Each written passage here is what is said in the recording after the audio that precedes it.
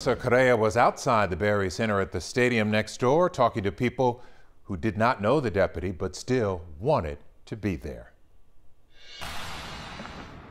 Sure, Len, and there's so many uh, people in that same situation. So whether it's folks who were standing with the Dhaliwal family or Harris County cadets who will soon be sworn in, one thing is for sure this evening. Houston always has the deputy in their hearts. This is the next generation of Harris County Sheriff's deputies, a group of cadets who were bussed in. Somber to say the least. To join their brothers and sisters in blue.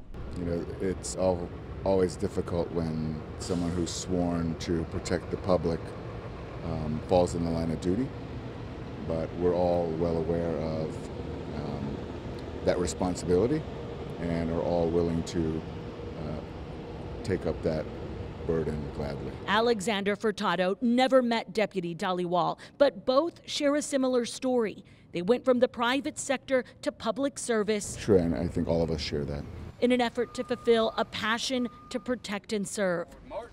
These men and women will be sworn in as Harris County Sheriff's deputies next Tuesday. And while the sudden death of Dhaliwal has shaken Houston to its core, we have to focus on we, what we have to do to uh, get through um, the rest of this class so that we can go out and join the ranks. And pick up where Deputy Sandeep Dhaliwal left off.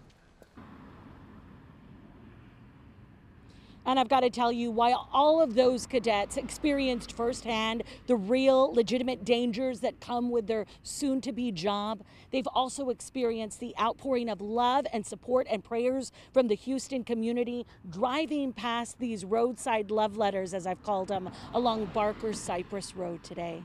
Guys. It really is all so touching. Melissa Correa reporting, thank you.